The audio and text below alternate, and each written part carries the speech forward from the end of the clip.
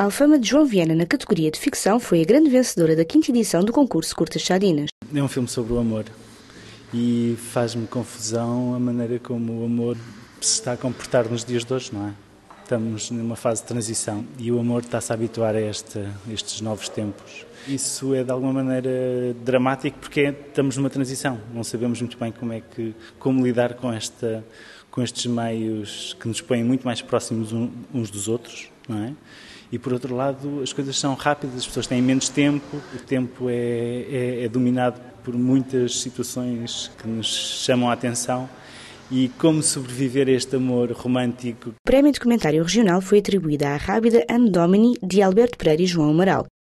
Eh, como todos sabemos, a Rábida é uma, uma serra já, já por si especial e além de ser especial, também é mágica.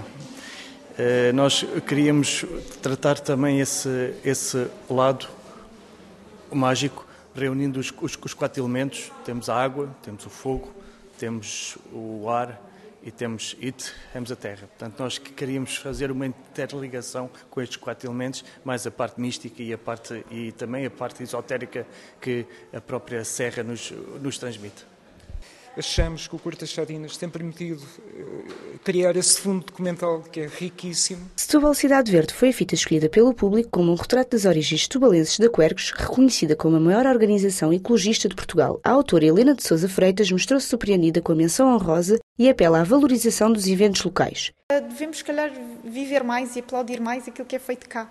E, e, nesse aspecto acho que estas iniciativas são, pronto, são boas, mas têm de ser vividas com, pelas pessoas, pela população de Setúbal, com mais entusiasmo, se calhar com mais empenho. Apesar de eu achar que hoje à tarde esteve extremamente composto, sala cheia, foi muito bom.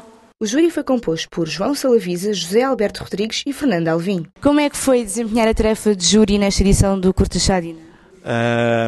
Foi uh, foi uma, uma missão uh, que muito me honra. Eu normalmente sou, sou convidado para ser júri de outro tipo de, ah, de eventos. Já estive na, na Miss Mielhada, lembro-me no concurso gastronómico de, de Rissóis, em Montessor, e agora nas curtas-metragens Sadinas. Penso que é esse trabalho que eu efetuei nos dois anteriores festivais que fez com que eu chegasse a esta, no fundo, é, é este nível, em termos qualitativos.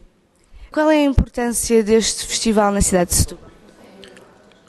Ah, a cidade de Setúbal tem uma tradição muito grande em termos de divulgação cinematográfica, especialmente por causa do Festroy, é?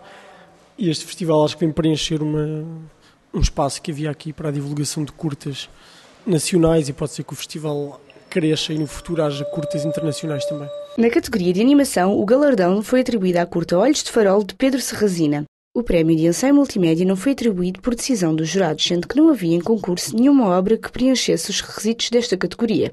Esta edição recebeu 91 inscrições, das quais 29 foram ao concurso. 2 mil euros foi o valor do prémio atribuído a cada categoria. As obras vencedoras e menções honrosas serão exibidas no decorrer do Festroia.